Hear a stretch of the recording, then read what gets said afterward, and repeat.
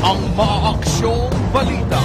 Albuera Police Chief Joey Espinido sinipag sa pwesto isang buwan matapos siyang idawit sa ilegal na droga ni Kerwin Espinosa. Sinibak na sa pwesto si Albuera Leyte PNP Chief Jovi Espenido. Base sa mga ulat, hindi alam ni Espenido kung bakit siya sinibak, pero susunod daw siya sa utos. Natanggap daw ni Espenido ang transfer order noong Martes para ilipat siya sa Osames City sa Misamis Occidental. Tinanggal sa pwesto si Espenido isang buwan makalipas siyang idawit sa ilegal na droga ni Kerwin Espinosa. Ayon kay Espinosa, si Espenido ang nagsilbing tulay sa kanya at kay Senadora Laila de Lima. Yes. Okay, ayon dun sa testimonya ni Kerwin Espinosa, kayo raw ang nagpakilala sa kanilang dalawa ni Ronnie Dayan. Ah, ano pong reaction niyo rito? never ever since na kilala ko si ah, Dayan or hindi talaga totoo yan.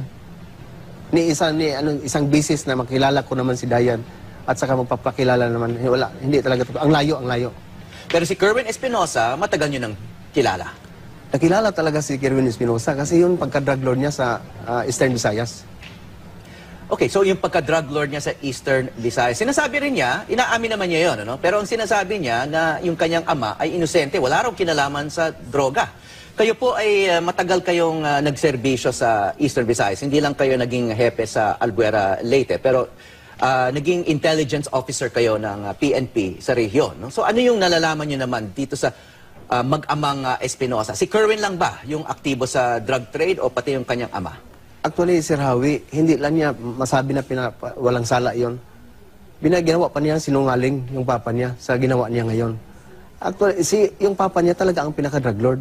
Pinalit, pina, yung ang drug lord, tigi-tigi lang yung kay Kirwin nung una. Magamit lang, binta maliit. Nung mag-transpinas kasi, nag, ah, lumago na sa loob ng kulungan si Jaguar, malaki na sigat, saka nagkakaalita na yun sila dahil nakuha ni Jaguar yung asawa niya. Yung Kerwin. Yung Kerwin na Kasi sinabi, sinabi niya yun sa Senado. eh. So, nag-transfer sila dito, lumipat. Siya na ang nagdala ng hawak. Nag-transfer saan po? Dito sa Eastern Leyte, Visayas, sa sa. Eastern Visayas. Oo. So, dati, itong mag-ama ay aktibo po. Ang, ayon sa inyong ah, intelligence, ay sa, aktibo sila sa Cebu. Yes. Pero marami silang karibal doon sa Yeah. droga.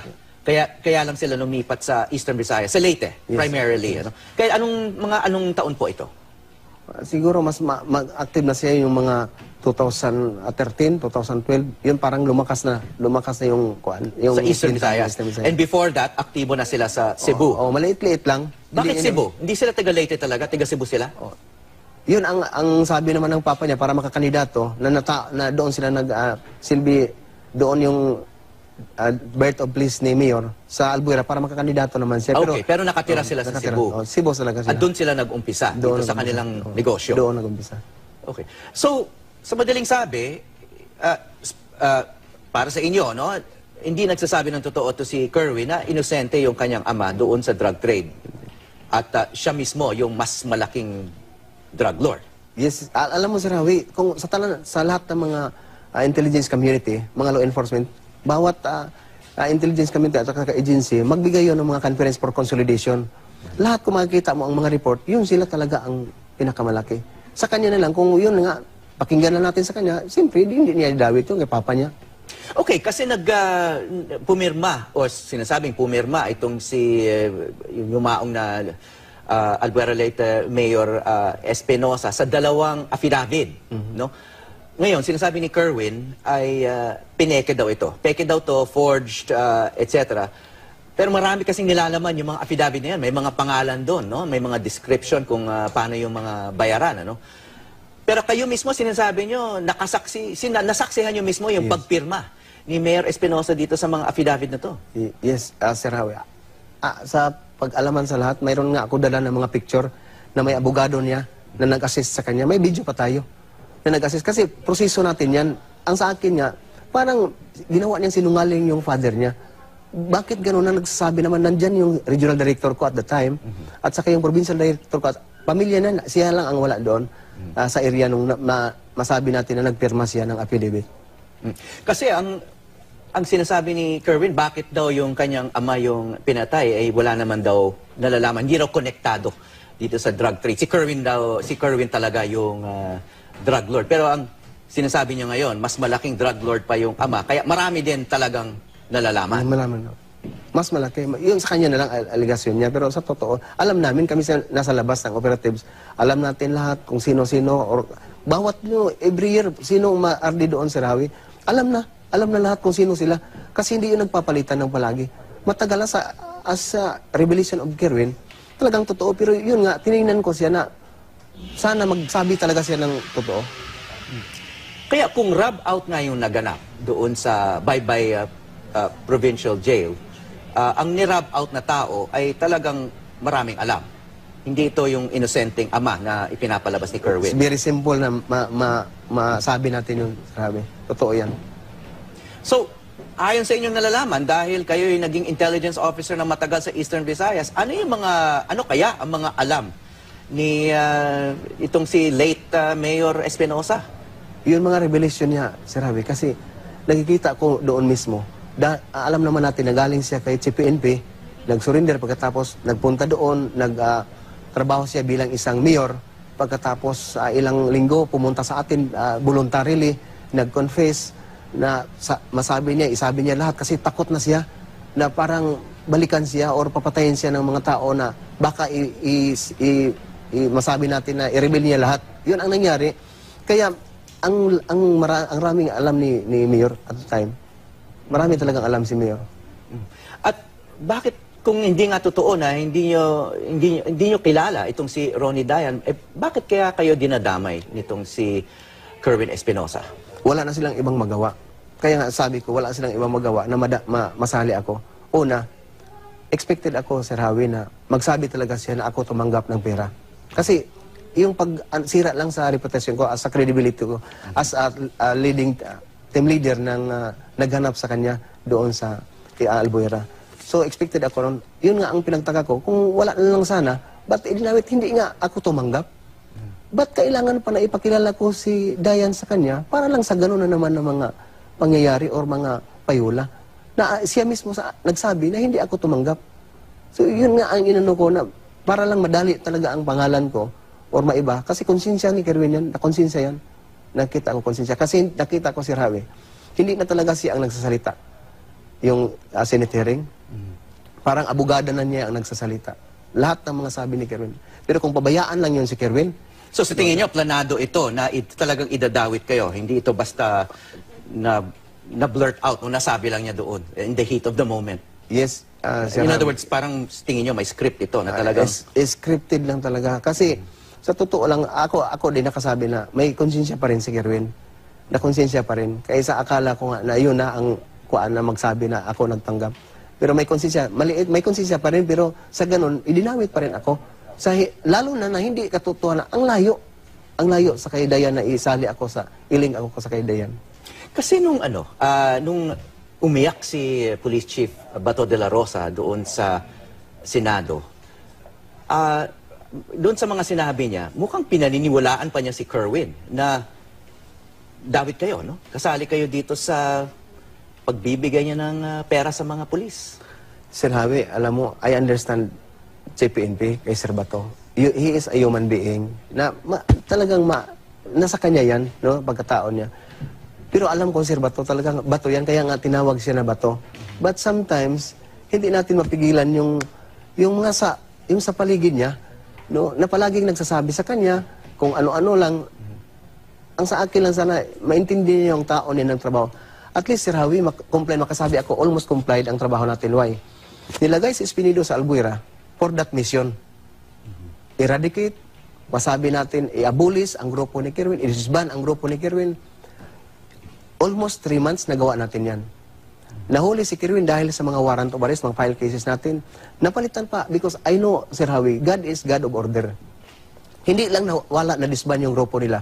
Napalitan pa yung mayor in which yun ang hinintay ng mga tao sa Albuera. Alam niya ng mga kasama natin, mga, mga kaibigan natin sa media kasi nagtutok sila doon at the time. Okay, sa madaling salita, itong si Police Chief ah, Bato de la Rosa, malaki yung tiwala sa inyo, kaya kayo ang nilagay doon with that particular mission. Yes, Sir Hawi. At maaring kaya sobra din yung kanyang disappointment to the point na napaiyak siya doon sa sinabi ni Kerwin na ah, kasabot kayo doon sa doon, doon sa pagpoproteksyon sa mga drug ah, lord. Yes, Sir Javi, that's why I understand, Sir Bato, sa gano'n ng mga pangyayari ba. Pero may Panginoon naman ako na magsasabi sa kanya, tay, at the end of the day, malaman talaga ang katotohanan. Kagaya ng mga interview sa Congress, so ganun na ang nangyari.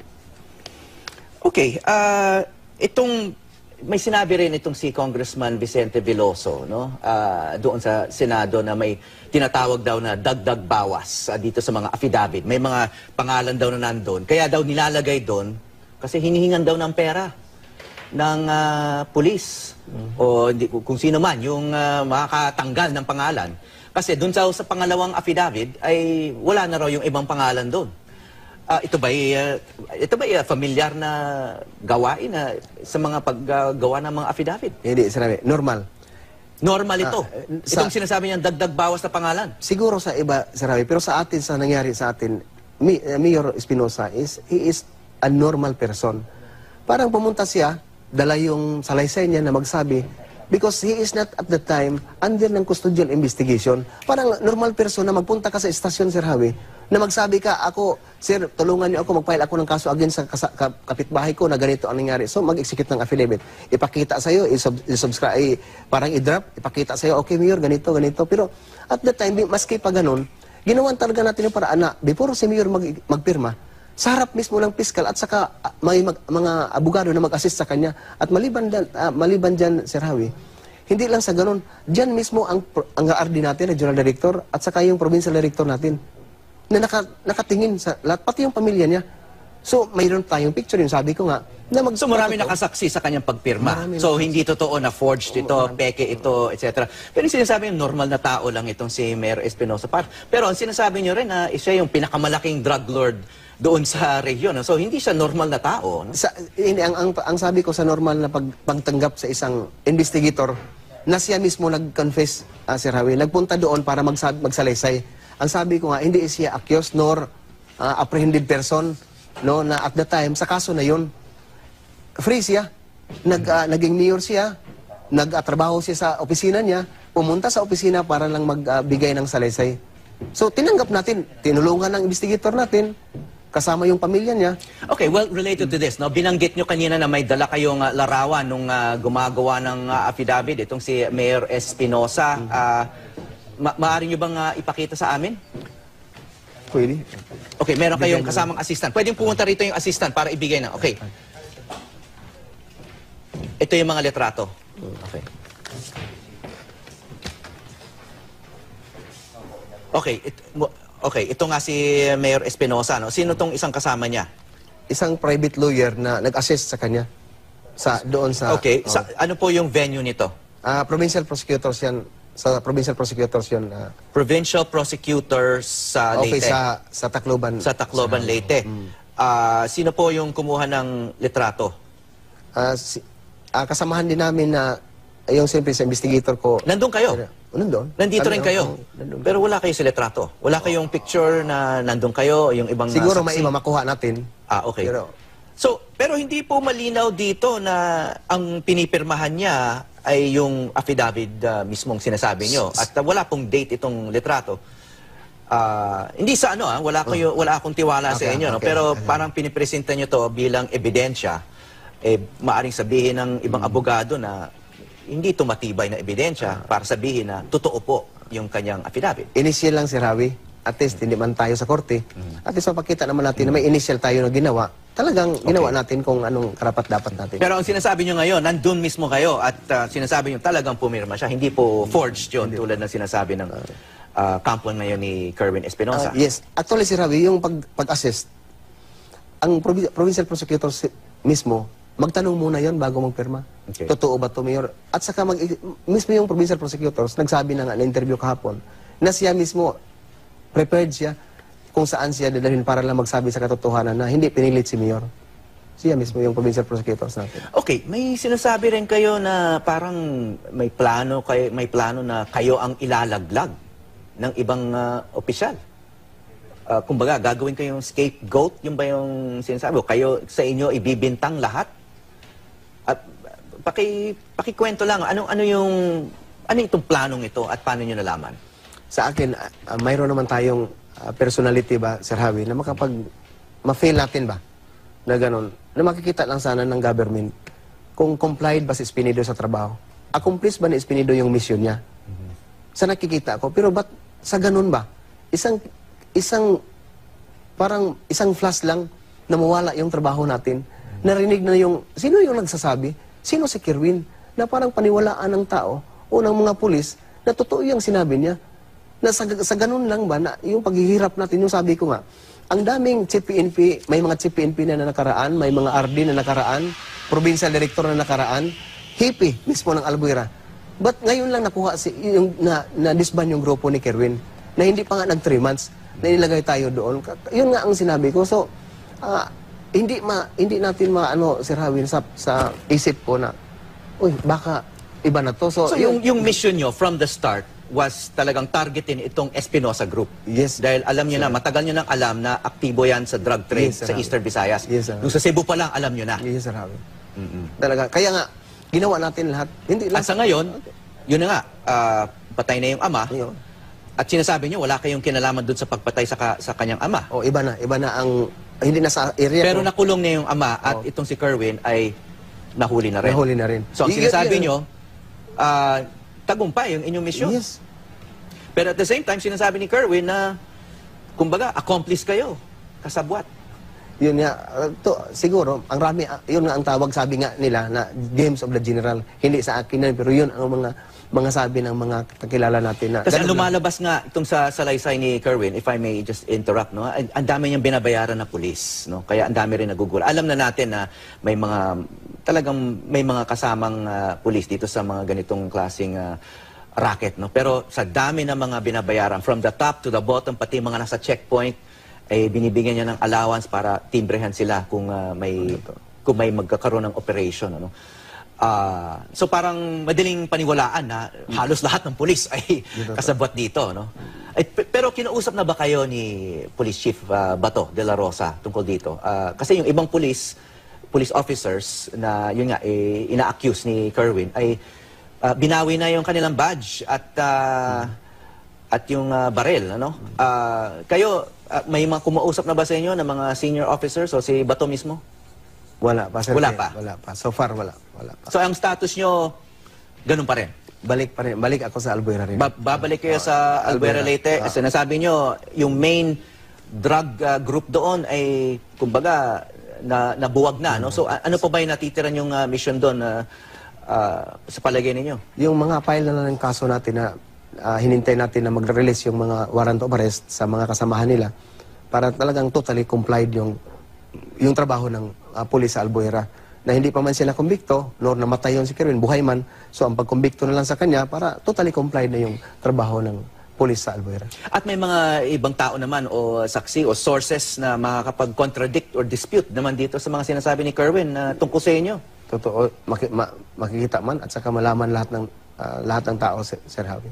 Okay, so uwi na kayo sa Albuera Leyte para mag-wrap up lang, mag-file ng mga kaso. Pero as far as you're concerned, the main personalities ay, kumbaga, na, na na-neutralize na. Yes, neutralized na. Either dead or Yes. or in jail. Y- yes, Sir Javi. Okay, maraming salamat po, Albuera Police Chief uh, Jovi. Pwede lang, Sir Javi, Espinido. maka... maka O, pahabol na Pahabol ano, lang. sali- salita. Actually, Sir Javi, believe ako sa presidente natin.